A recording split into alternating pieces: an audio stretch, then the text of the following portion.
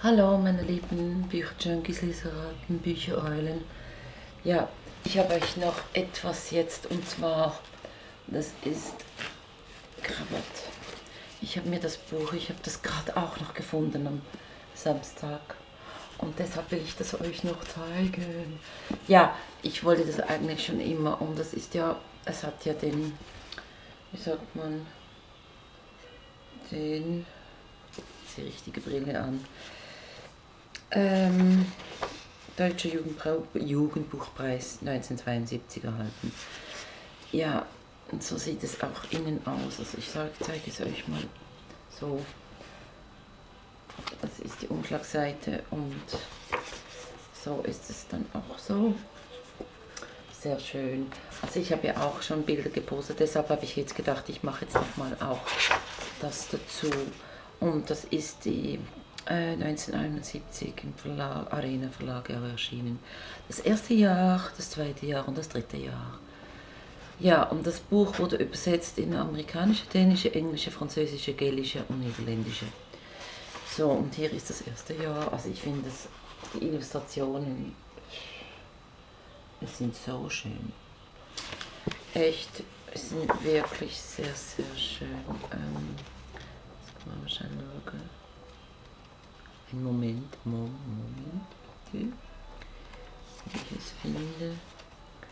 Ähm, mit der anderen Illustration. Wenn man es sucht, dann findet man es nicht. So schön mit dieser Kutsche und den Vögeln. Ja, so schön. Wow. Ich finde es einfach Sehr, sehr schön. Und jetzt suche ich euch noch das dritte Jahr aus. Und das ist auch sehr schön, wunderschön. Ja. Yeah. Und ich denke, das ist schon vergriffen. Das ist und hinten ist es auch so. Auch. Ja. Sehr schön.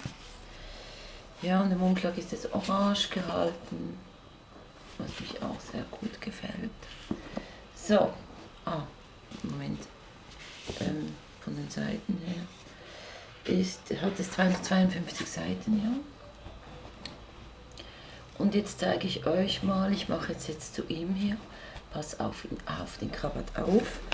Ähm, ich zeige euch jetzt mal, so sieht das aus.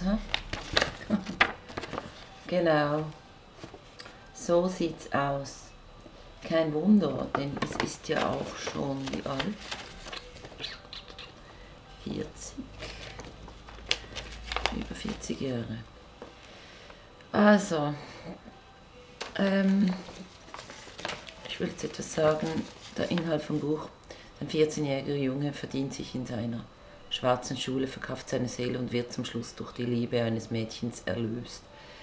Der männliche Stoff erhält in Preußler Händen ganz eigenständige Kraft, stellte man mich vor die Wahl als junger Leser. Zwölf ließe ich drei Dutzend Schmöker für den Krabat liegen.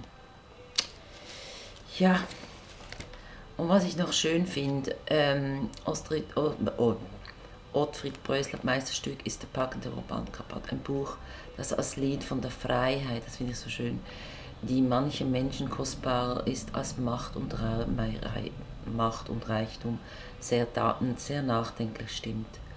Wie Brösel den Stoff sprachlich gefasst hat, daran kann man nur seine Freude haben. Ja, ich habe nämlich schon hineingelesen. Ähm, es ist einfach faszinierend, finde ich, geschrieben. Die Jüngeren wird er regelrecht seinen Bann schlagen. Ja, es gibt selten ein Jugendbuch, das auch erwachsene Leser fesselt. So ist es. Ottfried Preußer hat eines geschrieben, seinen Krabat. Ja, Ottfried Preußer Meisterstück ist der packende Roman, ein Buch, das als Lied von der Freiheit, wie gesagt, die Freiheit. Ähm, Ottfried Preußler ist der Autor dieses ungewöhnlichen Buches. Man braucht ihn nicht vorzustellen. Sein großer Erfolg spricht für ihn. Er hat ihn verdient, weil er viel kann. Und mehr noch, er schafft es, sein Können zu steigern. Krabat ist wohl sein bisher bestes Buch. So spannend, dass Kinder es verschlingen und mehr als einmal lesen werden. Ich auch. Und literarisch von solchem Rang, dass auch Erwachsene es mit Gewinn lesen können. Alles ist hinreißend erzählt, ein meisterhaftes Buch, genau. Er hat ja dann noch auch, äh, es fällt fast auseinander, Uhu. Ähm, ich, werde es, ich werde es flicken in die Buch, in meine eigene Buchwerkstatt bringen, ähm, so gut ich kann, weil ja, es ist schade, dass es so aussieht, aber ähm, ist natürlich schon halt alt. Ein Schmuckstück. Also, das geht dann noch, der Abenteuer des starken Vanya hat er ja auch noch geschrieben. Auch auf der Bestliste zum Deutschen Jugendbuchpreis. Sieben Jahre lang sammelt der Bauernjunge Vanya Kräfte, bis er in die Weißen Berge aufbrechen und in gefährlichen Abenteuern die Zarenkrone gewinnen kann.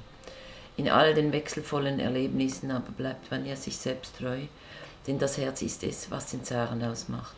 Nach der ersten Lektüre war mir klar, Ottfried Preußler hat mit seinem neuen Buch wahrscheinlich sein eigenstes, mit Sicherheit sein makellosestes Buch geschrieben. James Grüß in der Zeit. Preußler ist nicht nur ein mit Preisen ausgezeichneter erstklassiger Kinderbuchschreiber. Seine Seiten sind voll Poesie, märchenliebender Kinder und abenteuerlustige Jungen werden dieses Buch verschlingen. Und das hat dann 84 Seiten. Ich weiß nicht, es steht hier nicht, wie alt es ist. Und ist natürlich auch wiederum von der Illustration auch sehr schön. Auch im Arena. ja, ich gebe dem Sorge. Es war so, genau so. So im Buch, genau. So war es im Buch und ich werde das jetzt in meine Buchwerkstatt bringen. Das hier ist ein sehr, sehr schönes Cover auch, finde ich. Also, und so habe ich jetzt euch das auch noch vorgestellt. Und wie gesagt, ich, ich weiß nicht mehr auf welche Seite. Ich habe sicher ein, zwei Kapitel am Samstag schon gelesen und ich bin fasziniert. Es ist auch irgendwie ein Weihnachts-Silvesterbuch, drei Königsbuch, kann man sagen ja, ist eigentlich wirklich auch ganz toll, jetzt in dieser Zeit dieses Buch zu lesen. Kann ich nur empfehlen. Und sag mir mal, wer hat es gelesen? Ähm, ich kenne schon jemand, der das Buch hat.